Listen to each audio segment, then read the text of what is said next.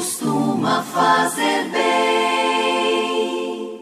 Nessa quarta-feira, dia 8 de maio, mais um dia de oração unidos com você. O mês de maio é o mês de Nossa Senhora e nós pedimos a intercessão dela diante de tantas necessidades que na nossa vida espiritual nós apresentamos. Eu, desde o início do mês de maio, tenho convidado você a rezar todos os dias a ladainha de Nossa Senhora. Esta ladainha que está disponível em nosso canal do YouTube, Padre Alex Nogueira.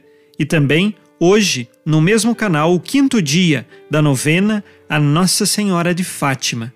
Pedimos também a intercessão neste dia de São Vítor e que o Espírito Santo nos ilumine e nos conduza em todas as decisões que devemos tomar hoje.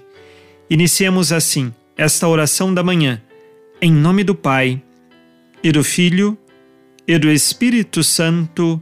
Amém. Que o Deus da esperança, que nos cumula de toda alegria e paz em nossa fé, pela ação do Espírito Santo, esteja sempre convosco. Bendito seja Deus que nos reuniu no amor de Cristo. E assim unidos, ouçamos o Evangelho desta quarta-feira.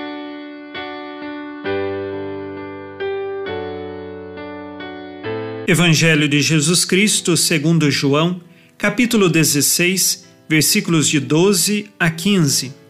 Naquele tempo, disse Jesus aos seus discípulos: Tenho ainda muitas coisas a dizer-vos mas não sois capazes de as compreender agora.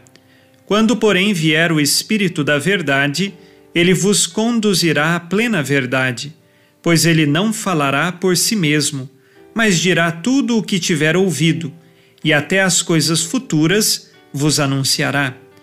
Ele me glorificará, porque receberá do que é meu e vô-lo anunciará. Tudo o que o Pai possui é meu. Por isso, disse que o que ele receberá e vos anunciará é meu. Palavra da salvação. Glória a vós, Senhor.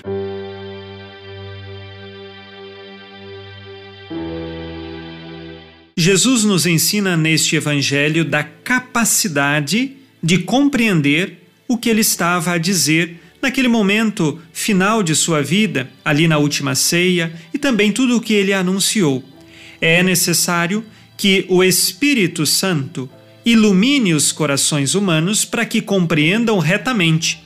Lembremos que o demônio, que é o pai da mentira, ele quer plantar opiniões e confusão dentro de nossos corações, na nossa vida espiritual, na comunidade cristã. Agora, o Espírito Santo, este é o Espírito da verdade. Ele anuncia a verdade. Devemos ter o reto discernimento, porque no mundo de hoje há muitas opiniões a respeito de religiões, a respeito da fé, mas nós temos apenas uma única verdade e esta foi revelada por Jesus Cristo, nosso Senhor, guardada pelo magistério da Igreja e a tradição nestes dois mil anos de história da Igreja Católica. E assim precisamos mergulhar, impulsionados pelo Espírito Santo, nessas verdades de fé. Mas lembremos, quem tem muita autossuficiência e prepotência não conseguirá compreender estas verdades de fé e nem muito menos o que Jesus disse, porque o primeiro passo para compreender é sermos impulsionados pelo Espírito Santo junto de um caminho de humildade, em que nós nos esvaziamos de nós mesmos e deixamos que o Espírito Santo nos ilumine e assim saibamos crescer nesta fé e no conhecimento da nossa fé. Hoje, peçamos que o Espírito Santo ilumine nossos corações para o reto discernimento entre a mentira e a verdade. Que saibamos viver a nossa fé fundados nesta verdade. No dia do batismo, nós dizemos assim depois da renovação das promessas: Esta é a nossa fé, que da Igreja recebemos e sinceramente professamos, razão de nossa alegria em Cristo Jesus. A nossa fé é razão de alegria. Nós recebemos da Igreja Católica e nela professamos como comunidade cristã.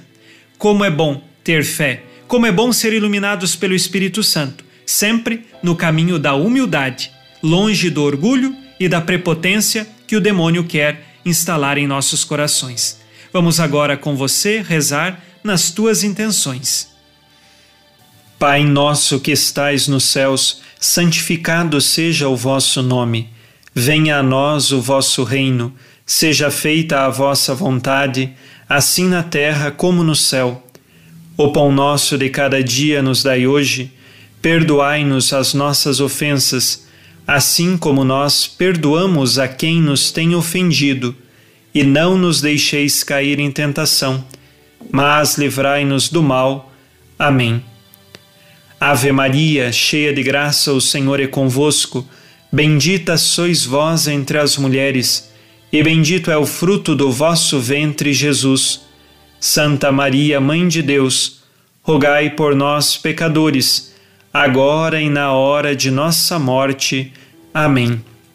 Glória ao Pai, e ao Filho, e ao Espírito Santo, como era no princípio, agora e sempre. Amém. Jesus, manso e humilde de coração, fazei o nosso coração semelhante ao vosso. O Senhor esteja convosco, Ele está no meio de nós. A nossa proteção está no nome do Senhor, que fez o céu e a terra. O Senhor Jesus Cristo esteja contigo para te proteger, esteja à tua frente para te conduzir e atrás de ti para te guardar. Olhe por ti, te conserve e te abençoe. Amém. E a bênção de Deus Todo-Poderoso, Pai e Filho e Espírito Santo, desça sobre vós e permaneça para sempre. Amém. Nesta quarta-feira, fique na paz e na alegria que vem de Jesus. Abençoado dia a você e sua família.